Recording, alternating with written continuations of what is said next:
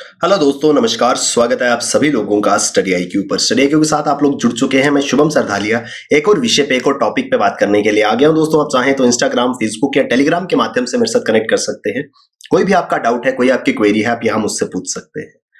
दोस्तों, हम बात करने वाले हैं एंटी टैंक गाइडेड मिसाइल जिसका नाम हेलिना है। हाल ही में anti tank guided missile Helina का सफल परीक्षण जो है, वो भारत द्वारा किया गया है तो विस्तार से जानेंगे क्या है ये anti tank guided missile Helina, क्या इसकी इंपॉर्टेंस है देश के डिफेंस को लेकर के। दोस्तों, अगर आप सिविल सर्विसेज़ के लिए प्रिपेयर कर रहे हैं defence technology paper three UPSC mains का ये इंपॉर्टेंट पार्ट है। इसके अलावा भी बहुत सारे एग्ज़ाम्स में इस तरीके के सवाल जो हैं, वो आते हैं। तो आप किसी भी एग्ज़ाम के लिए प्रिपरेशन कर रहे हो, चाहे सिविल सर्विसेज़ है बैंकिंग है जुडिशरी इन सभी के लिए बेहतरीन स्मार्ट कोर्सेज स्टडी कॉम या स्टडी आई की ऐप पर मौजूद है। इन कोर्सेज की मदद से आप अपनी प्रिपरेशन को बहुत बेहतर बना पाएँगे स्टडी आई क्योंकि किसी भी कोर्स में आप एनरोल करते हैं, ये कोड शुभ थर्टी थ्री इस कोड का ज़रूर इस्तेमाल कीजिएगा, आप मैसिव डिस्काउंट स्टडी आईक्यू पे ले पाएँगे। तो दोस्तों, हाल ही में भारत ने anti tank guided missile Helina का सफल परीक्षण जो है वो किया है, ये राजस्थान के पोखरान रेंज में इसका सफल परीक्षण जो है वो किया गया है। ये जो है it was the part of user validation trial of the third generation fire and forget class missiles developed by DRDO दोस्तों डीआरडीओ देश की प्रीमियर एजेंसी है जो देश की सुरक्षा से संबंधित उपकरण जो है वो बनाती है देश के डिफेंस को स्ट्रॉन्ग करने के लिए अलग अलग टेक्नोलॉजीज़ का इस्तेमाल करके वेपनरी और सर्वेलेंस सिस्टम जो है वो डीआरडीओ तैयार करता है और इसी डीआरडीओ ने एंटी टैंक गाइडेड मिसाइल दोस्तों एंटी टैंक गाइडेड मिसाइल नाम से समझ आता है एंटी टैंक यानी टैंक या किसी भी आर्मड व्हीकल के अगेंस्ट उसको निस्तो नाबूद करने के लिए मिसाइल जो है वो काम करती है। तो एंटी टैंक और गाइडेड मिसाइल है। गाइडेड मिसाइल दोस्तों वो होती है जिसको उसकी ट्राजेक्ट्री के दौरान उसका रूट जो है वो बदला जा सकता है। यानी कि एक जगह से आपने इसको फायर किया, ये इस रूट पे जा रही लेकिन आपको लगा कि इसके रास्ते को बदलने की ज़रूरत है, उसको बीच रास्ते में आप इसका ट्रैक जो है वो बदल सकते हैं। इसको रास्ते में आप गाइड कर सकते हैं, अगर आपको लगे कि आपको इस मिसाइल को किसी दूसरे टारगेट पे ले जाना ये नॉर्मली क्या होता है कि किसी मोबाइल व्हीकल को हिट करना है। यानी कि आपने एक एंटी टैंक गाइडेड मिसाइल जो है वो लॉन्च करा, यहाँ पर एक व्हीकल को हिट करने के लिए। लेकिन जैसे ही आपने मिसाइल लॉन्च करा, ये व्हीकल जो है, इसने अपनी लोकेशन लोकेशन जो है वो बदल ली तो आप इस मिसाइल को रास्ते से ही गाइड कर सकते हैं कि कैसे अपने टारगेट तक पहुँचना है। तो ये होती है एंटी टैंक गाइडेड मिसाइल इस प्रकार की हेलिना जो है, उसको रिसेंटली टेस्ट फायर करके देखा गया है। इस हेलिना की अगर हम बात करें तो मैक्सिमम रेंज सात किलोमीटर की, यानी कि लक्ष्य को सात किलोमीटर दूर से ये जो है वो अटैक कर सकती है।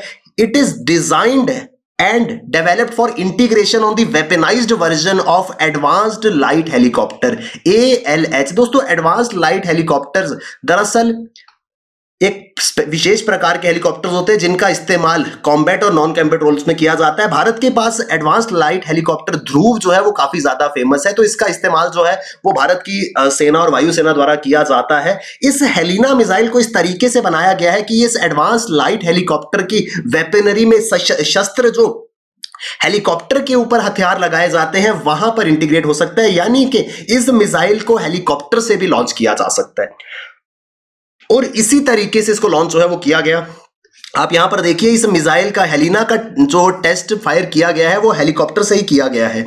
तो इस वजह से इसको जो है पोखरान रेंज में इसको टेस्ट किया गया है आप देख पा रहे हैं। तो हेलिना जो है वो डीआरडीओ की लेबोरेटरी जो कि हैदराबाद में मौजूद है, उनके द्वारा बनाया गया है। Under missile strategic systems DRDO scientist का कहना है कि हेलिना मिसाइल जो है it is all weather day and night capability and can defeat battle tanks with conventional armours as well as explosive reactive armours कोई भी प्रकार का टैंक हो, चाहे वो कन्वेंशनल गोला बारूद लेकर के चलता हो या एक्सप्लोजिव रिएक्टर आर्मर उसके ऊपर लगा हो, ये मिसाइल जो है उसको भेदने में, चाहे दिन का समय हो, चाहे कैसा भी मौसम हो, ये मिसाइल जो है, इसको फायर करके किसी भी आर्मर्ड व्हीकल को टैंक आदि को निशाना बनाया जा सकता है। It has been developed for integration with choppers in both army and air force सेना और वायुसेना दोनों के हेलीकॉप्टर्स के साथ में इसको इंटीग्रेट किया जा सकता है और हेलीकॉप्टर से इसको लक्ष्य पर टारगेट जो है वो किया जा सकता है। एडवांस्ड लाइट हेलीकॉप्टर ध्रुव के साथ में इसको इंटीग्रेट किया गया है। इस ध्रुव हेलीकॉप्टर के साथ इंटीग्रेट करने के कारण इस हेलिना मिसाइल को ध्रुव वस्त्र के नाम से भी जाना जाता है। दोस्तों, ये इंपॉर्टेंट हो सकता है। टर्म ध्रुव वस्त्र recently seen in news was related to तो हेलिना मिसाइल को ही ध्रुव वस्त्र भी कहा जा रहा है, क्योंकि ये एडवांस लाइट हेलीकॉप्टर ध्रुव के साथ इंटीग्रेट करके ध्रुव और अस्त्र, यानी ध्रुव के वेपन्स तो हेलीकॉप्टर है ध्रुव और उसके वेपनरी में इसको शामिल करके वहाँ से इस मिसाइल को फायर किया जाता है, जिस वजह से इसको ध्रुव वस्त्र कहा जाता है। हेलिना के अंदर काफ़ी सारी कैपेबिलिटीज है। It can engage targets in both direct hit mode as well as top attack mode दोस्तों, दो प्रकार के अटैक्स होते हैं, जब भी हवाई हमला किया जाता है, इन दोनों को अगर हम समझें। सबसे पहले आता है टॉप अटैक मोड यहाँ पे क्या होता है कि मिसाइल जो है, वो अपने टारगेट से पहले कुछ ऊंचाई पे जाती है। मान लीजिए, यहाँ टारगेट है। तो इसको मिसाइल को ऐसे लॉन्च करने के बजाय इस तरीके से एक हाइट पे भेजा जाता है और वहाँ से फिर बहुत तेज़ी से मिसाइल जाकर के टारगेट को जो है वो हिट करती है। इसको टॉप अटैक मोड कहा जाता है और दूसरा है डायरेक्ट हिट मोड तो डायरेक्ट हिट मोड में क्या होगा कि कोई भी हाइट जो है वो मिसाइल अटेन नहीं करेगी, सीधा जाकर के जो ऑब्जेक्ट है, इसको लो एल्टीट्यूड में रह करके ही हमला जो है वो कर देगी। तो इस प्रकार से अगर हम हेलीकॉप्टर की मदद से देखें, अगर ये टारगेट है तो डायरेक्ट अटैक में मिसाइल जो है वो इस तरीके से जाएगी, जबकि टॉप अटैक में मिसाइल जो है इस तरीके से ऊपर जाके फिर हिट करेगी। तो ये दोनों ही कैपेबिलिटीज रखती है, यानी कि अगर हम चाहते हैं डायरेक्ट हिट अटैक करना, हम वो भी कर सकते हैं टॉप अटैक मोड में हमला करना चाहते हैं तो वो भी हम इस हेलिना मिसाइल से कर सकते हैं। दोस्तों हेलिना मिसाइल स्टार्टिंग में मैंने आपको बताया एंटी टैंक गाइडेड मिसाइल है। एंटी टैंक यानी कि जो आर्मड व्हीकल होते हैं टैंक क्या है? कोई भी ऐसा वाहन जिसके ऊपर बारूद लगा है, जिससे किसी को निशाना बनाया जा सकता है, उस आर्मड व्हीकल के खिलाफ काम करने के लिए गाइडेड मिसाइल है कि इसको इसकी ट्राजेक्टरी में, इसके रास्ते में भी डायरेक्शन या स्पीड बदलने के लिए गाइड किया जा सकता है। एंटी टैंक माइल्स जो है, ये एंटी टैंक मिसाइल्स जो है, ये गाइडेड मिसाइल्स होती हैं जिनको इस उद्देश्य के साथ बनाया जाता है कि damage heavily armoured vehicles and tanks बड़े बख्तरबंद वाहन जो कि चारों तरफ़ से कवर्ड होते हैं आर्मर्ड होते हैं और बड़े टैंक्स को नष्ट करने के लिए एंटी टैंक मिसाइल्स को बनाया जाता है। एंटी टैंक मिसाइल्स जो है, वो अलग अलग साइजेस की आती हैं।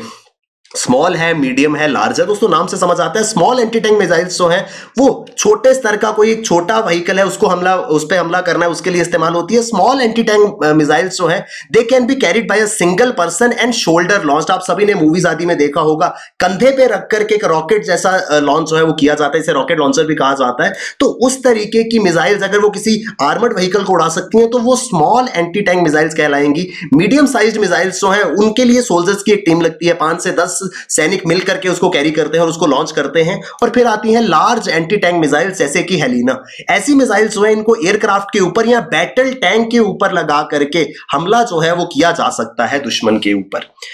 ये मिसाइल जो है उद्देश्य यही है कि दुश्मन के जो हथियार बंद या बख्तर बंद वाहन है, उनको निशाना बनाया जा सके। प्रारंभ में, शुरुआती दौर में जो एंटी टैंक मिसाइल्स बनाई गई थी, वो इस तरीके से बनाई गई थी कि उनको टारगेट के नज़दीक जाकर के अटैक करना होता था। यानी कि अगर इस वाहन के ऊपर हमला करना है तो इसके क्लोज जाकर के ही हमला जो है वो किया जा सकता है। प्रारंभ में इनिशियली ऐसी एंटी टैंक मिसाइल जो है वो बनाई गई थी, क्योंकि उस समय इतनी दूर फायर पावर करने की पेनिट्रेशन करने की पावर जो है वो नहीं थी। लेकिन ग्रेजुअली जैसे जैसे लेटेस्ट टेक्नोलॉजीज़ आ गई हैं, अब हम काफ़ी दूर रह करके हमला जो है वो कर सकते हैं। जैसे हमने हेलिना के केस में देखा, सात किलोमीटर दूर से हमला जो है वो किया जा सकता है। इससे क्या होता है कि आप एक सेफर डिस्टेंस पे रह करके दुश्मन के बख्तरबंद वाहन को निशाना बना सकते हैं और भारी नुकसान जो है, वो पहुँचा सकते हैं। दोस्तों हमने स्टार्टिंग में बात करी कि ये थर्ड जनरेशन वेरिएंट था। तो यहाँ पर मिसाइल्स के अंदर जनरेशन दरअसल क्या क्या सिग्निफिकेंस है? तो यहाँ पे जनरेशन जो है वो गाइडेंस सिस्टम पे डिपेंड करती है। दोस्तों, किस तरीके से एक मिसाइल जो है वो अपना रास्ता तय करेगी? क्या उसको रास्ते में गाइड करने की ज़रूरत पड़ेगी? क्या उसके मूवमेंट को कंट्रोल करने की ज़रूरत पड़ेगी? या वो अपने आप जाएगी? इस आधार पर जनरेशन जो है वो डिसाइड होती है। सबसे पहले फ़र्स्ट जनरेशन जो है these are guided by manual commands and missile is steered to the target manually जो फ़र्स्ट जनरेशन मिसाइल्स थी उनको इंसान द्वारा निर्देशित किया जाता था और जब तक मिसाइल लॉन्च होने के बाद अपने टारगेट पे हिट नहीं कर जाती थी, तब तक इसके पूरे के पूरे रास्ते को मैनुअली कंट्रोल किया जाता था और फिर ये टारगेट को हिट करती थी। तो ये सबसे पहली जनरेशन थी। उसके बाद सेकंड जनरेशन आई। तो सेकंड जनरेशन जो है, इसको सेमी ऑटोमेटिक जनरेशन कहा गया, क्योंकि यहाँ पर कुछ कमांड्स जो है, वो ऑटोमेटिक थी और कुछ समय के लिए यहाँ पर एक व्यक्ति को जो है, वो इसके ऊपर नज़र रखनी होती थी। ये पहली जनरेशन में तो इसको बिल्कुल बिल्कुल टारगेट तक खुद पहुंचाना था। लेकिन दूसरी जनरेशन में क्या था कि आपने मिसाइल को लॉन्च तो कर दिया, लेकिन आपको यहाँ पर मौजूद रहना होगा ये देखने के लिए कि ये मिसाइल अपने टारगेट को सही ढंग से हिट करती है या नहीं करती है। दोस्तों फ़र्स्ट और सेकंड जनरेशन में एक सबसे बड़ी ड्रॉबैक थी कि यहाँ से अगर मिसाइल का हमला होता है, क्योंकि हमारे पास फ़र्स्ट और सेकंड जनरेशन मिसाइल थी, यहाँ पर एक सोल्जर का रहना ज़रूरी था। अब दुश्मन को पता है कि ये मिसाइल जो है इस पर्टिकुलर एरिया से आई है, वो इसकी रिटेलिएशन में अगर वापस अटैक करता है तो ये जो सोल्जर यहाँ पर मौजूद है, इसकी जान जा सकती है। इस वजह से अब थर्ड जनरेशन मिसाइल्स आई हैं, जिनको फायर एंड फॉरगेट के नाम से जाना जाता है, यानी कि एक बार फायर कर दो और उसके बाद भूल जाओ। ये गाइडेड मिसाइल्स हैं जिनके अंदर ऑप्टिकल इमेजर लगा होता है। या लेजर की मदद से ये अपने टारगेट को हिट करती हैं? आपने मिसाइल के अंदर टारगेट जो है वो लॉक कर दिया कि मिसाइल को इस टारगेट पे हिट करना है। आप मिसाइल को कोई इंस्ट्रक्शन देने की ज़रूरत नहीं है, वो खुद जा करके इस टारगेट में हिट कर जाएगी। इनको फायर एंड फॉरगेट मिसाइल्स कहा जाता है। यानी कि इनको एक बार फायर कर दिया, उसके बाद व्यक्ति जो है वो वहाँ से बाहर आ जाए। यानी कि अगर इसके लॉन्चिंग एरिया में जहाँ पे इससे, जहाँ से इसको फायर किया गया, अगर दुश्मन उसके ऊपर जवाबी हमला भी करता है तो यहाँ से जो इसको लॉन्च करने वाला व्यक्ति है, वो पहले बाहर आ चुका होगा। इस वजह से उसकी जान जो है वो बच सकती है। तो इस तरीके से अलग अलग जनरेशन जो है वो डिसाइड होती है। हेलिना जो है वो थर्ड जनरेशन मिसाइल है। उसके बाद आता है दोस्तों डीआरडीओ ने इस प्रकार की काफ़ी सारी मिसाइल जो है वो डिज़ाइन की हैं, जिसमें एंटी टैंक मिसाइल्स के अलग अलग रेंजेस हैं। जैसे नाग मिसाइल है, हेलिना जिसका अभी टेस्ट फायर किया गया M P A T G M है एस ए एन टी है laser guided A T G M है for M B T Arjun ये क्या है? इनके बारे में एक एक करके समझते हैं। दोस्तों, सबसे पहले नाग, कुछ कुछ साल पहले, दो 2020 में इसको जो है वो सक्सेसफुली टेस्ट फायर किया गया था। ये नाग मिसाइल जो है again third generation fire and forget missile है, जो कि एनिमी टैंक्स को निशाना बनाने के लिए बनाई गई थी। इसके अलावा आती है M P A T G M जिसका नाम है man portable anti tank guided missile नाम से समझ आता है एंटी टैंक गाइडेड मिसाइल क्या है हमने समझ लिया था। मैन पोर्टेबल क्या होता है? दोस्तों मैन पोर्टेबल का अर्थ था कि ये जो एंटी टैंक गाइडेड मिसाइल है, ये वज़न में हल्की होती है, एक व्यक्ति इसको उठा करके एक जगह से दूसरी जगह ले जा सकते हैं और इंडिविजुअल व्यक्ति इसको फायर जो है वो कर सकते हैं। करीब 15 किलो वजनी ये मिसाइल जो है, वो मौजूद है। इसके अंदर भी फायर एंड फॉरगेट कैपेसिटी है और इन्फेंट्री यूज़ के लिए, यानी कि जो थल सेना है, अगर उनको दुश्मन के टैंक को उड़ाना है तो ऐसा तो है नहीं कि वो एयरफोर्स को बोलेंगे कि आप अपने हेलीकॉप्टर को लेके आइए और हेलिना से उड़ाइए। तो उनके इस्तेमाल के लिए मैन पोर्टेबल सैनिक जो है सोल्जर जो है, वो इस मिसाइल को अपने आ, आप उठा करके जो है वो यूज़ कर सकते थे और दुश्मन को निशाना बना सकते थे। इसके अलावा दोस्तों संत है जो कि stand off anti tank missile है जो कि डेवलप अभी की जा रही है, जो कि M I thirty five M I thirty five helicopter से इसको लॉन्च किया जाएगा, जिस तरीके से हेलिना को एडवांस लाइट हेलीकॉप्टर ध्रुव से लॉन्च किया जाएगा, उसी तरीके से संत मिसाइल जो है smart stand off anti tank missile जो है M I thirty five helicopter से इसको लॉन्च किया जाएगा, इसको अभी डेवलप किया जा रहा है। इसके अलावा एक और मिसाइल है, जो कि A T G M for M B T anti tank guided missile for main battle tank Arjun, दोस्तों मेन बैटल टैंक भारत के सेना का सबसे इंपॉर्टेंट या one of the most important battle tank है अर्जुन। इसके अलावा भीमा है। तो जो एडवांस्ड टेक्नोलॉजी की मदद से एंटी टैंक गाइडेड मिसाइल बनाई गई है, जो कि इस मेन बैटल टैंक अर्जुन के ऊपर लगाई जाएगी। ये एक लेजर गाइडेड एमिनिशन है, जो कि 125 mm rifle gun Arjun tank से जो है वो लॉन्च की जा सकती है। यानी कि ये मिसाइल है, ये एंटी टैंक मिसाइल है, लेकिन इसको लॉन्च कहाँ से किया जा सकता है? अर्जुन टैंक से इसको लॉन्च किया जा सकता है। यानी कि टैंक के ऊपर जो गन लगी होती है 120 mm की गन है, वहाँ से इसको जो है, वो लॉन्च किया जा सकता है। ये स्पेशली बनाई गई है अर्जुन टैंक के लिए। तो अलग अलग प्रकार की एंटी टैंक मिसाइल्स जो हैं, वो डीआरडीओ ने बनाई है, जिसमें से हेलिना मिसाइल को हाल ही में टेस्ट फायर किया गया। क्या हेलिना मिसाइल है? क्या इसके अंदर टेक्नोलॉजी इन्वॉल्व है? इन सभी बातों पर हम विस्तार से चर्चा कर रहे थे। आई होप दोस्तों डिटेल में हम ये पूरा का पूरा आर्टिकल समझ पाए होंगे। दोस्तों, अगर आप सिविल सर्विसेज़ के लिए प्रिपेयर कर रहे हैं बैंकिंग एग्ज़ाम प्रेपरेशन में आप है, किसी भी एग्ज़ाम प्रेपरेशन में आप शामिल हैं स्टडी आईक्यू पर आपके लिए बेहतरीन स्मार्ट कोर्सेज अवेलेबल है। इन कोर्सेज की मदद से आप अपनी प्रेपरेशन को बहुत बेहतर बना सकते हैं। डेफिनेटली इन कोर्सेज में एनरोल करें। स्टडी आईक्यू के किसी भी कोर्स में आप एनरोल करते हैं। ये कोड शुभ थर्टी इसका ज़रूर इस्तेमाल कीजिएगा। आप मैसिव डिस्काउंट सभी कोर्सेज पे ले पाएँगे। Thank you. Very much all the best keep working hard bye bye take care जय हिंद